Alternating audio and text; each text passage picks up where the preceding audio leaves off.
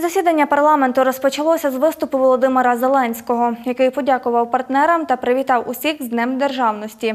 Для сильних людей за сильні вчинки. Такими словами президент охарактеризував нагороду Хрест бойових заслуг, яку сьогодні вручали нашим військовим у залі парламенту. Також під час засідання Верховної Ради України виступив президент Литовської Республіки Гітанас Науседа. Свій виступ він розпочав українською. Ми усвідомлюємо загрозу, яку становлять імперські амбіції Росії для безпеки всього регіону. Історичний досвід вчить, що москальського тирана треба вчасно зупиняти, зауважив політик. Пізніше до дня відзначення державності відеозв'язком долучилася президентка Європарламенту Роберта Мецола, яка засвідчила однозначну підтримку України з боку ЄС як зараз, так і у майбутньому. Стоячи з оплесками та під викрики Збройні сили України у раді зустріли Валерія Залужного.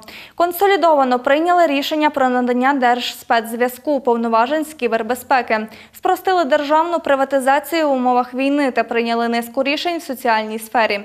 Парламентарі підтримали законопроект щодо сприяння релокації підприємств. Також Верховна Рада встановила норми щодо формування та реалізації державної політики у сфері протидії агресії у кіберпросторі.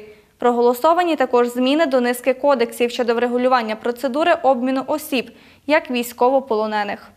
На превеликий жаль, в День української державності ворог продовжив ракетний терор. Ударів завдано по Київщині, Кропивницькому, Харкову, Миколаєву, Донеччині, Луганщині, обстріляні Чернігівщина та Сумщина.